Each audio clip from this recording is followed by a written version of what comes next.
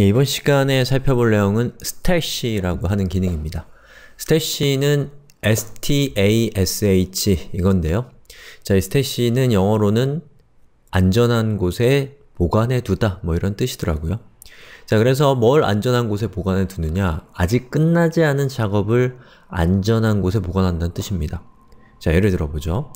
여러분이 어, 코딩을 하고 있었어요. 자, 아주 복잡한 일, 새로 스태시라고 하는 항목을 추가하는 일을 하고 있었습니다. S하고 한 3시간 했어요.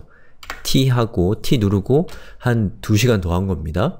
그런데 아직 완성을 못한 상태에서 갑자기 긴급하게 어, 처리해야 될 버그가 발생을 했어요. 자 그런 경우는 지금 우리가 코딩을 하고 있을 때가 아니죠. 그 버그부터 해결을 해야 되는 거죠. 서비스가 돌아가고 있는데 갑자기 동작 안 하고 있으면 걔가 최우선 과제가 되는 거죠. 자, 이런 경우에 지금까지 해왔던 이 작업을 어떻게 할 거냐는 거죠. 만약에 이 상태로 얘는 두고 그리고 버그를 수정한다고 하면 어떤 문제가 생기겠어요? 아직 완성하지 않는 이 코드로 인해서 우리의 그 프로그램이 동작하지 않을 수 있잖아요. 그쵸? 얘는 완성하지 않았으니까. 자, 그런 경우에 어떻게 할 것이냐라는 거예요. 자, 우리가 지금까지 배운 걸로는 branch를 만들어서 거기서 작업하는 게 우리가 지금까지 배운 걸로 할 수 있는 작업이고 이제부터 배울 내용은 바로 stash라고 하는 기능을 통해서 아직 commit하지 않은 이것을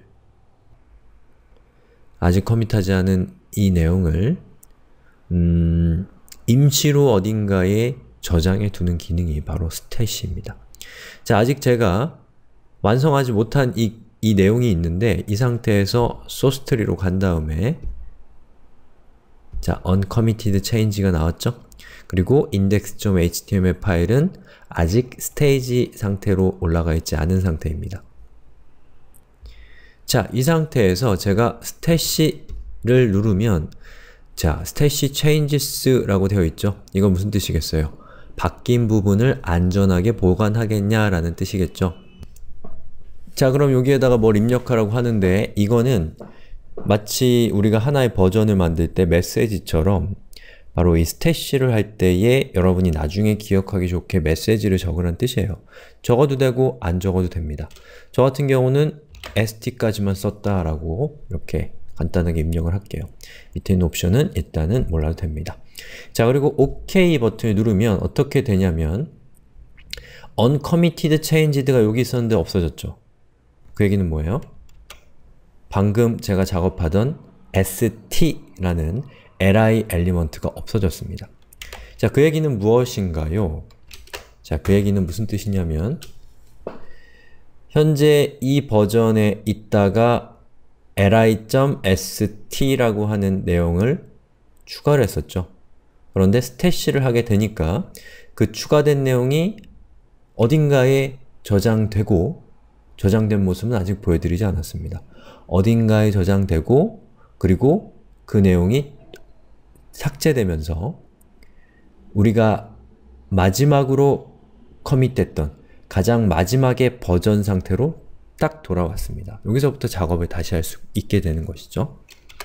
자 그러면 우리가 작업한 내용은 지금 도대체 어디가 있는 걸까요? 바로 여기 있는 사이드바에 있는 stashes라는 것을 열어보시면 on master 그리고 제가 적은 st라고 하는 어, 메시지가 여기 들어가 있죠.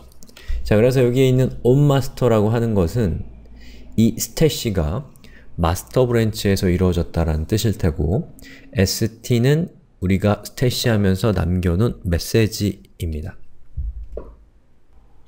자, 그리고 음, 제가 이제 작업을 또 하겠죠? 스태시가 없어졌으니까 뭐를 수정할까요? 자, 여기 git이라고 되어 있는, git 소개라고 되어 있는 거를 영어로 바꿨어요, 그냥. introduce git. 자, 그리고 커밋해서 방금 수정한 내용을 긴급하게 수정해서 서버로 올립니다. 지금 나오는 메시지는 왜 그 커밋 로그를 작성하지 않느냐라는 뜻이에요. 음... change 뭐였죠? intro라고 하겠습니다. 자, 그리고 커밋을 하는데 커밋을 했습니다. 자, 그리고 이렇게 해서 우리가 이 긴급하게 처리해야 될 문제를 일단 다 해결했어요. 그리고 이전에 하던 일로 다시 돌아가야겠죠? 그때 여기 있는 스태시에서 오른쪽 클릭을 해보시면 apply stash on master st가 있습니다. 자, apply는 적용하다죠? 즉, 여기 제가 선택한 이 스태시를 소스에 적용한다 라는 뜻이에요. 클릭하면 정말 적용할 것입니까? 를 물어보죠. 자, 여기서 OK를 누르면 되는데 어, 여기에 있는 delete after applying이라고 하는 것을 선택하면 어, 저 stash를 우리의 working copy에 적용한 다음에 저 stash를 우리의 소스 코드에 적용한 다음에 이 내용을 자동으로 삭제해 준다라는 뜻입니다. 자, 저는 체크를 해서 자동으로 삭제가 되도록 했습니다.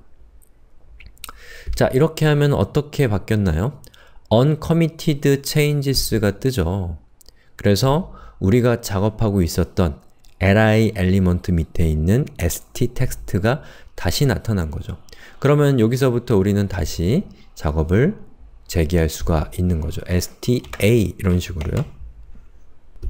자 그럼 복습 겸 해서 조금만 내용을 더 부과해서 설명을 드려볼게요. 자 제가 sta까지 글을 작성을 했습니다. 그리고 버전 관리로 돌아와 보면 자 여기 있는 index.html 파일이 수정됐기 때문에 unstaged files에 추가가 됐죠. 자 얘를 클릭하면 어떻게 돼요? 얘는 현재 인덱스 상태, 다른 말로는 스테이징 에어리어에 속해 있는 상태가 되었죠. 자 그리고 이 상태에서 제가 다시 s까지 작성을 했습니다.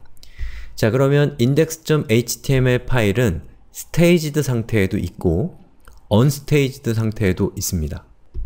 자, staged와 unstaged 상태의 차이점 제가 이전 시간에 설명을 드렸으니까 더 자세하게는 설명 안 드리겠습니다. 혹시 잘 이해가 안 가면 뭐 그냥 넘어가셔도 됩니다. 나중에, 나중에 알게 되는 부분이니까. 자, 그리고 제가 이 상태에서 긴급한 버그가 발생한 거예요. 그래서 걔부터 해야 되는 상황이 오면 여기 있는 stash를 클릭해서 자, 이번에는 뭘로 할까요?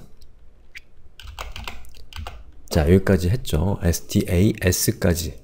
그리고 OK 버튼을 누르면 방금 보셨던 staging, staging area에 있는 수정사항과 working copy에 있는 수정사항이 결합된 상태로 stash 상태가 됩니다. 자, 요걸 한번 클릭해서 한번 눌러볼까요?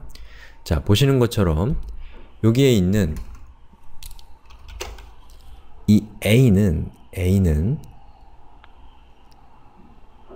stage area에 들어가 있는 변화고 그 뒤에 있는 S는 stage area에 들어가 있지 않은 그냥 working copy에서의 변화인데 스태시를 하면 이 두 가지를 구분하지 않고 그냥 이 두 가지를 결합한 상태가 그냥 하나의 통으로 스태시 안으로 저장된다는 것을 알 수가 있죠.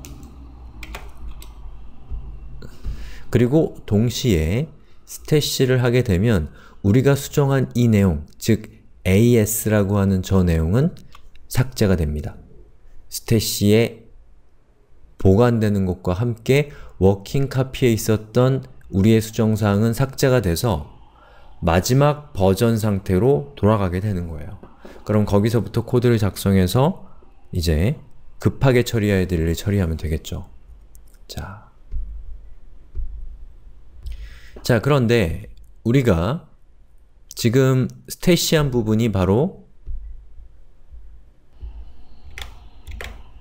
여기죠. 제일 끝에 있는 리스트.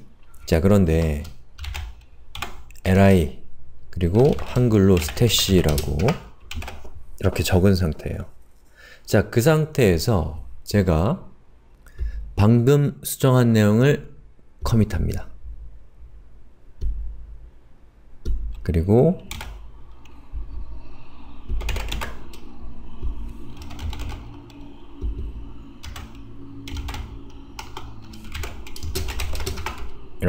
작성해서 commit을 했어요. 자, 그리고 여기 있는 요 stash를 제가 어, apply를 시키면 어떻게 될까요?